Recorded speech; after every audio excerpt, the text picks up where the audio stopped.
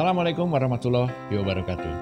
Jika Anda pernah gagal melakukan sesuatu, kemudian Anda kapok, menyerah, dan tidak berusaha untuk mencobanya kembali, ada baiknya Anda mendengarkan cerita dan narasi saya tentang The Elephant Row. Begini kisahnya.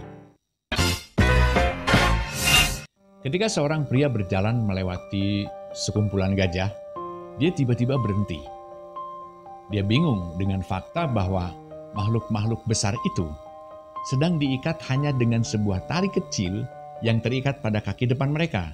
Tidak ada rantai, tidak ada kandang. Jelas sekali bahwa gajah itu bisa melepaskan diri dari ikatan mereka kapan saja. Tapi entah kenapa mereka tidak melakukannya.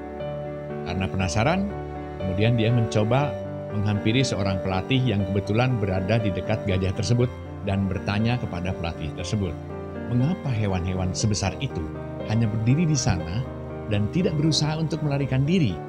Kemudian sang pelatih gajah menjawab dengan santai, ya karena ketika mereka masih sangat muda dan jauh lebih kecil dari sekarang, kami menggunakan ukuran tali yang sama untuk mengikat kaki mereka.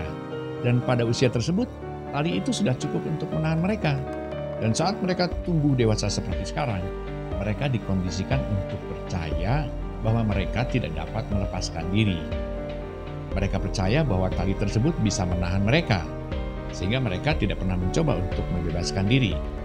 Sampai di sini, pahamkan maksud saya? Pria itu pun kagum. Hewan-hewan itu bisa saja setiap saat membebaskan diri dari ikatan tali mereka. Tetapi mereka percaya bahwa mereka tidak bisa.